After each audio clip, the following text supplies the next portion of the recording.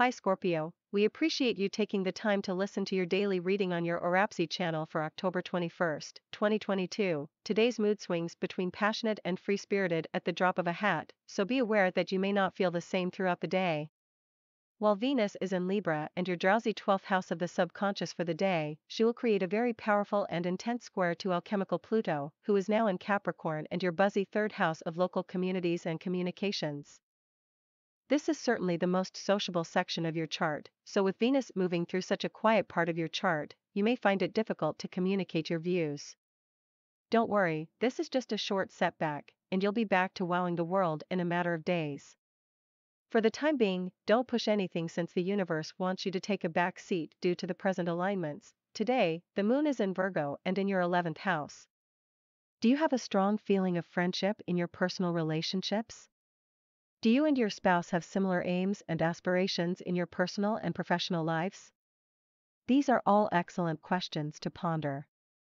If you feel that any of these traits are lacking in your romantic relationships, now is the time to work on incorporating them more into your relationships.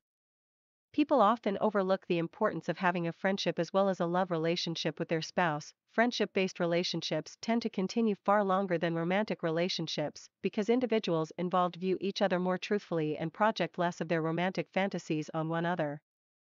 It is also critical that you and your spouse have comparable mentalities and aspire to create similar things in your life.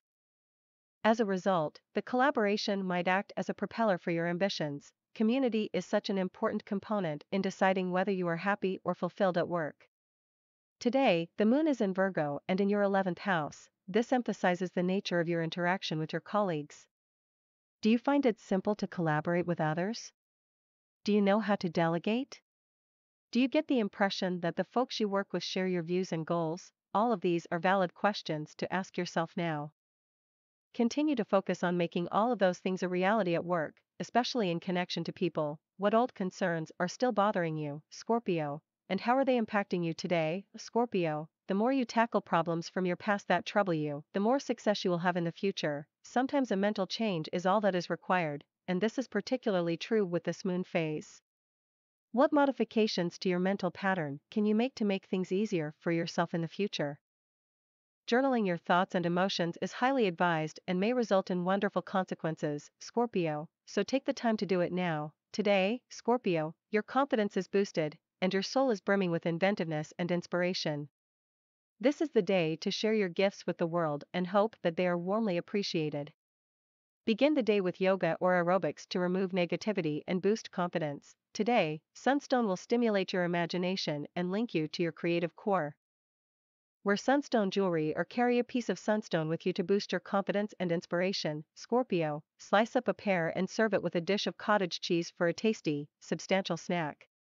This creamy, sweet delicacy is rich in antioxidants, vitamins, protein, and calcium. Scorpio, let your imaginations take you anywhere they want. Venus is in Libra, and your dreamy 12th house of the subconscious all day, throwing a drowsy glow over the day and urging you to power down and relax. Even if you do attempt to get a few Z's, it seems that someone will be on hand to awaken you from your sleep, as Venus produces a very intense angle that will undoubtedly capture your attention. Throughout the day, she'll reach out and square off with alchemical Pluto in your third house of communications, launching you out of your lethargic 12th house transit. With so much energy pinging about the sky, it may be difficult to decide where to direct your attention, but follow my advice and try to let go of control for now.